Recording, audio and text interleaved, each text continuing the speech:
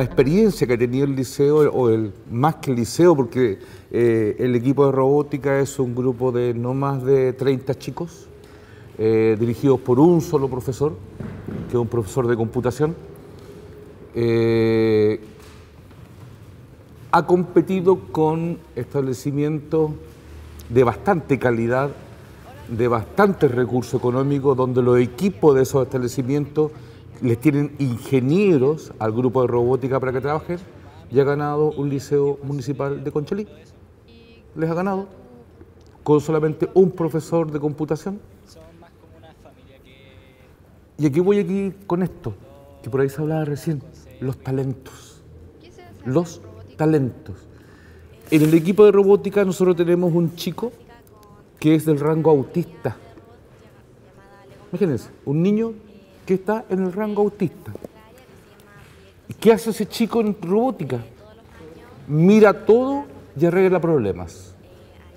Mira todo, permiso, y funciona.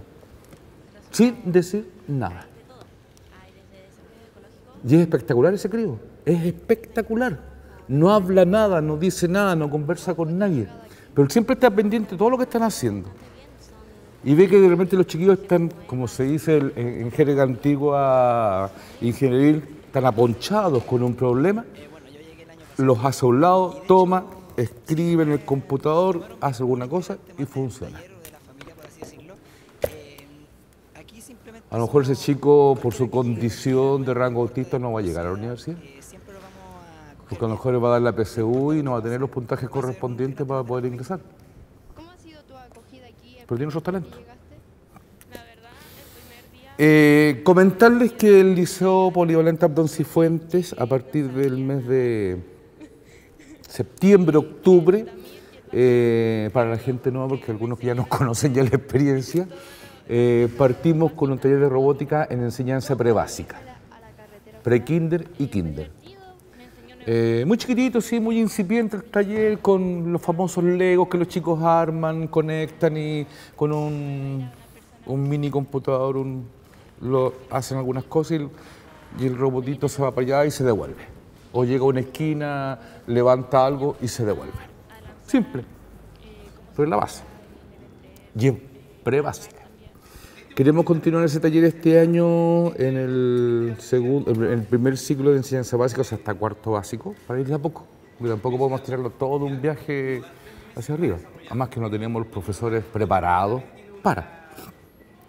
Una de las populares la mandamos a capacitarse y está trabajando también con el profesor Marcelo Pacheco de ahí también que nosotros este año queremos, a partir de este taller chiquitito en prebásica de robótica que lo queremos lanzar en, el 2019 hasta cuarto básico, queremos enfocar, ya hemos ya hablado con la profesora de tecnología, tanto de básica como de media, a trabajar el tema de, de informática. Más que de programación, porque primero la profesora tiene que prepararse ella en el manejo de equipo, manejo, porque ella es profesora, nunca apenas sabe manejar un computador para hacer un Word, unas planillas Excel, unas presentaciones y nada más.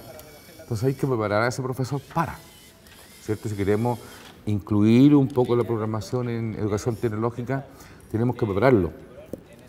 Eh, cuando se hablaba delante de, este trabajo de tecnología y robótica, eh, me fui en el tiempo hasta los años 66, 67, 68 cuando yo estaba en, la escuela, en el liceo estudiando, y había un ramo que teníamos que era artes manuales. Los más viejos se deben acordar, ¿cierto, profesor? Y en ese ramo de artes manuales yo aprendí electricidad, aprendí a soldar, tanto al arco como con estaño.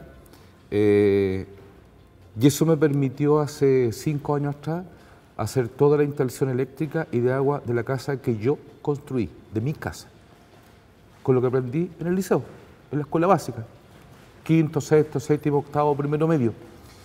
Pero también no hay que desconocer, San Google y San Internet son muy buenos, y San YouTube también, ¿cierto? Son muy buenos, apoyan. Eh, ¿Qué voy con esto? Que a los profes hay que prepararlos y prepararlo en algo que le entregue al chiquillo que le sea útil, que le sea útil. Porque yo estaba viendo el otro día los programas de tecnología y en primero medio, cabro tiene que desarmar un aparato tecnológico para ver cómo está compuesto. Discúlpenme, pero ¿le sirve algo al chiquillo desarmar una linterna y saber cómo está formada la linterna? Yo creo que para nada, ¿cierto? Además que los cabros no usan linterna ahora, usan la linterna del celular. No usan la linterna que nosotros conocemos, que se había que ponerle pila, sacarla casi este tiempo porque las pilas se revenían. No, el cabrón usa la linterna del celular. ¿Va a desarmar el celular para saber cómo funciona esa linterna? Entonces, ahí también hay una parte que el ministerio tiene que abordar si son necesarios, son, son indispensables, son pertinentes lo que se está haciendo. Eh, es una crítica que yo hago en algunas, algunos, algunos programas de, aprendizaje que tienen los, liceos hoy en día que bajan desde el ministerio. ¿eh?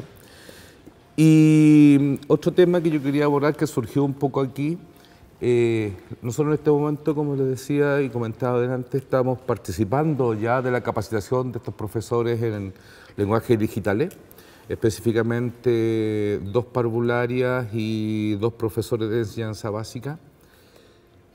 Pero fíjense que una de las parvularias que está, que está participando de esta competencia hace cuatro, cinco, cuatro años, cinco años, perdón, que nosotros le invitamos el día de la licenciatura de los cuartos medios, hace cinco años porque están saliendo alumnos que ella formó en kinder.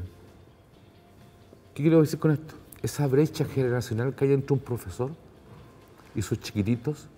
Ese profesor o profesora, 45, 50 años, ¿tendrá las competencias para manejarse en programación? Pregunta. Algunos podemos tenerlas, no todos pero la brecha que hay del profesor con el alumno. Muchos de nuestros profesores en enseñanza media, específicamente que la que yo más conozco en el liceo, eh, manejan computadores, pero los chiquillos manejan mucho más que el profe, mucho más. Entonces a veces eh, un profe que le dice al chiquillo, a ver, hagamos en, Paint un dibujo. El cabro se ríe, si el cabro ya no está usando el Paint hace muchos años. pues está usando otras, otras herramientas para dibujar, o para hacer un monito, o para hacer un cálculo, está usando otras. Entonces hay una brecha ahí que también hay que, superar. Eh, finalmente, comentarles que eh, estamos hoy en día eh, en conversaciones con INACAP porque queremos nosotros lanzar este año, entregar a presentar al Ministerio eh, una nueva carrera. Bueno, el Abdón Cifuentes es un liceo polivalente. Tenemos eh, carreras como contabilidad y administración, pero queremos este año presentar la carrera de programación. A nivel de enseñanza media, por supuesto, no, no, más avanzado que eso. Pero una de las menciones que queremos darle, no estamos en discusiones ahí, internas, robótica, automatización, eh, redes, no sé, algo, algo con eso que, nos permita entregarle a los alumnos eh, una herramienta de futuro.